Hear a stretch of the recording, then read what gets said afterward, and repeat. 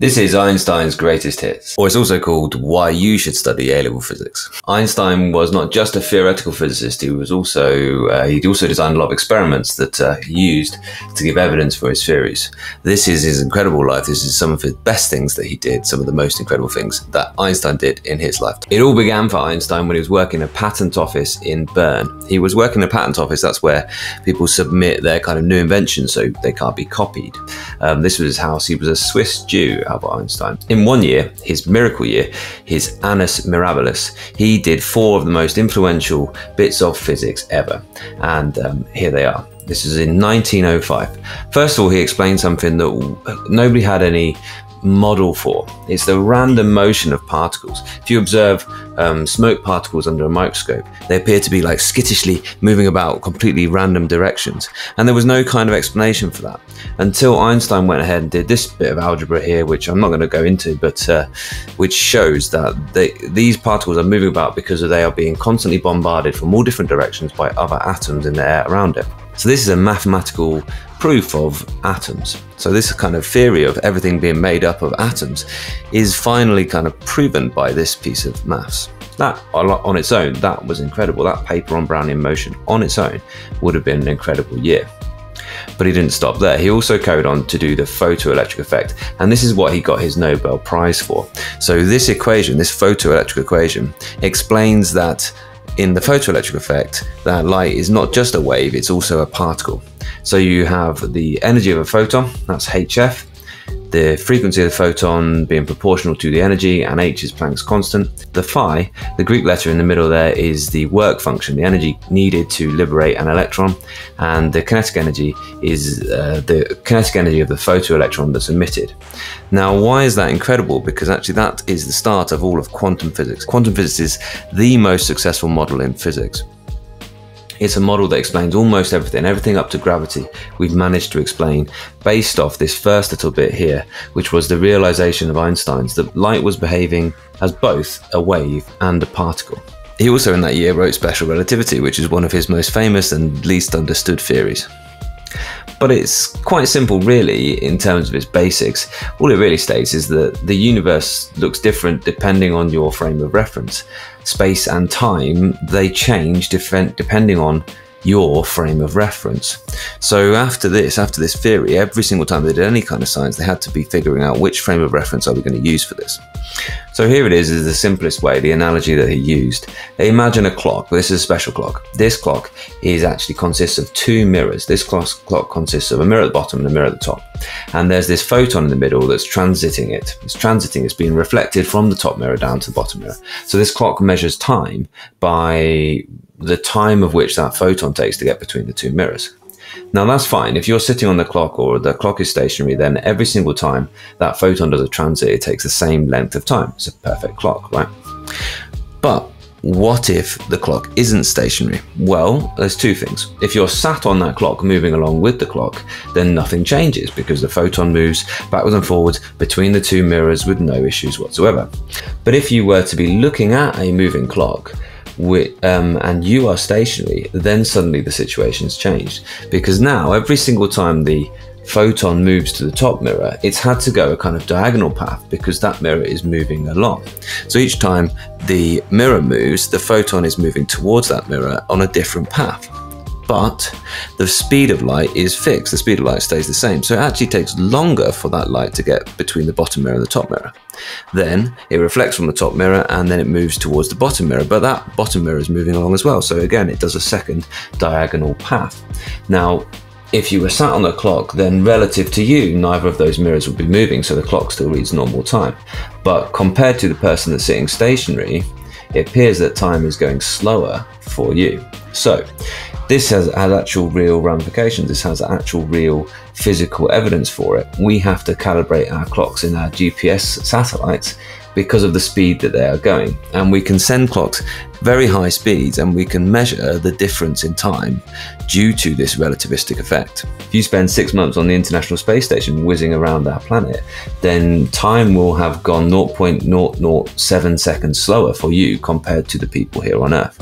It's the idea that actually you can do a little bit of time travel, but it's only one way and it's only uh, things appearing to be slower for you by going very fast away from Earth and then coming very fast back. And you will have experienced less time than the people here on Earth. Interesting, right? And there's something we always say about special relativity, which is that if you think you understand special relativity, you probably don't. So um, don't, you know, don't worry too much about that being a bit complicated. But it is in some A levels. It is in the OCR A level. I know that it's not in all A levels, but this idea of special relativity is in some A levels. It's one of the fascinating things. And the last thing that he did was mass energy equivalence. Now, mass energy equivalence is E equals mc squared, and that is the most quoted and least understood expression. But it's famous for a reason. It's famous because Einstein telling us how we can get an awful lot of energy from a little bit of mass. So a little bit of mass multiplied by this really large number, c squared. c is the speed of light. So energy and mass are actually the same thing, they're equivalent to each other. So this is why nuclear reactions such as fission, fusion, or any type of nuclear decay release so much energy. It's because of this equation.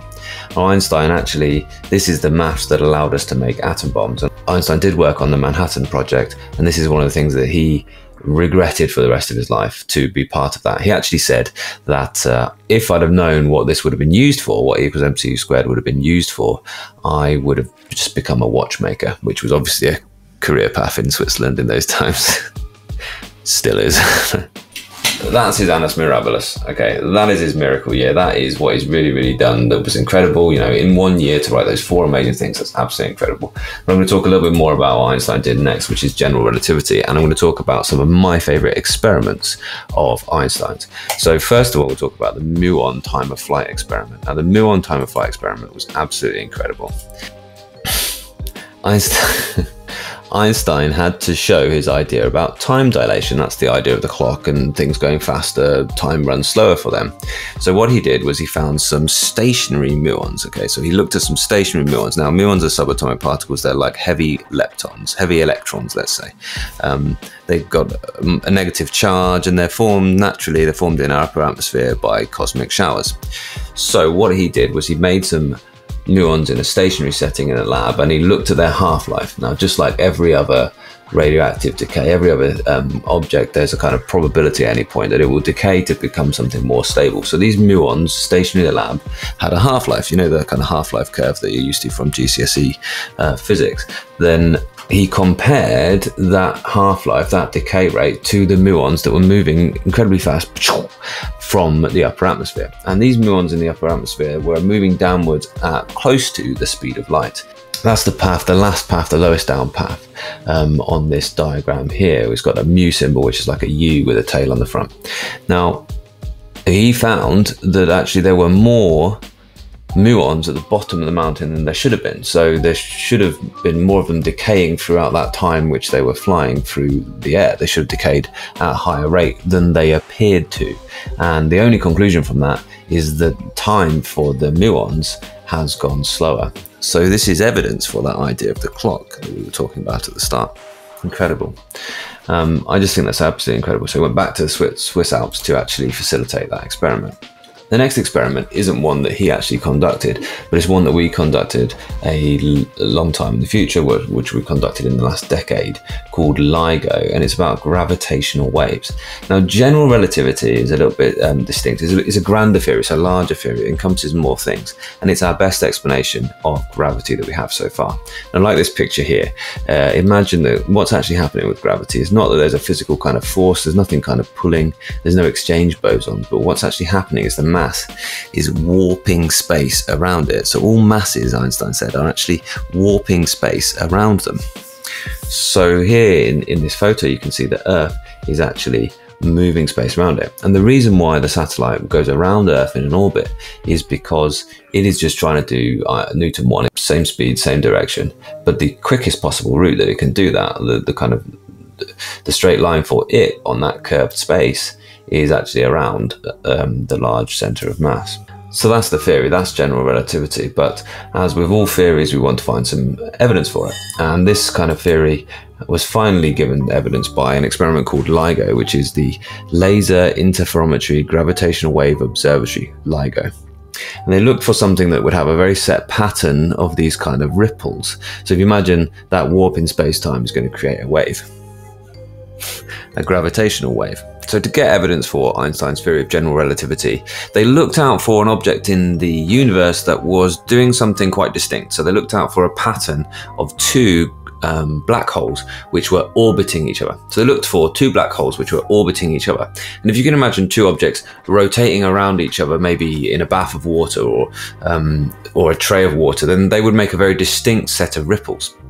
And they looked out for that on the LIGO, on the Laser Interferometry Gravitational Wave Observatory. So essentially, what happens with LIGO is they send a laser up one of the arms and another laser up the other arm, and those two arms are at right angles to each other. They compare those two lasers when they meet back at the observatory here, and um, if they are out of phase, then it means that actually the length of one of these arms is different to the length of the other arms. And it's those very, very, very slight changes in length that are caused by the gravitational waves, that are caused by that change to the shape of space time because of the mo- motion of these incredibly large masses in the universe. Incredible, right? So, this is carrying on being used to provide more and more evidence to further our understanding of gravity. And that's really the next kind of step for science or physics right now, is really trying to get a good understanding of gravity. It's the bit we couldn't explain with quantum my last and probably my most famous experiment of Einstein's, though, and this is the experiment that really made him an international superstar. So, it, in the scientific community, things like special relativity, Brownian motion, the photoelectric effect made him massive, made him, you know, the most influential scientist. But it was the really it was the international recognition and the kind of populism that this experiment actually made, uh, which was to explain that light itself can be affected by gravity. So we think of light as being pretty much massless, um, and therefore we don't think of light as coming down to Earth due to gravity, and we can't really observe that the effect of gravity with something as small as our own um, Earth. But we could observe the effect of gravity on light around maybe a star. So what you're actually seeing in this photo is not actually five stars. It's one massive star in the middle and another star which is directly behind it. And what's happening is that large mass is actually bending the light around it as it comes past. So the light is actually being changed direction, it's being refracted, if you like, by the gravity. So the gravity is actually acting like a lens. The gravity of the large and central star is acting like a lens, and therefore we're seeing these four stars or the same star four times either side of it. Amazing, right? So he explained what was going on in those patterns in the night sky that people thought were maybe strange groups of five stars.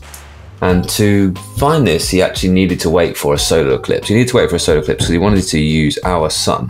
And he wanted to say, well, there's a star behind our sun, and I can see it to the side of our sun because the light from it is being refracted around our sun. The issue is the sun is very, very bright. So he needed to wait for a solar eclipse so that actually he could see the stars to either side of the sun or see the stars that were in fact behind the sun and which could be visible to the side of the sun because of this gravitational lensing effect. Amazing, right? And the problem was that he wanted to do this experiment, he planned this experiment during the First World War. So he actually needed to wait for the First World War to finish so that he could travel the world and actually get a solar eclipse and do these observations. It's an incredible, incredible, incredible um, experiment, and we repeat it and we find the same thing. The stars you can see to the side of this um, picture here are actually directly behind the sun. That is Einstein's greatest hits. That is not all he did. I would vastly recommend a bit of study into Einstein, especially if you're finished one of your courses or you're not sitting exams or anything like that, because Einstein, his life, the science that he did, was absolutely incredible. And there's things like this that remind you how inspiring it is to study physics and how important all of these things are and how how amazing people like Albert Einstein are. Well, thanks very much for watching. This has been Einstein's Greatest Hits, or Why You Should Study A Level Physics.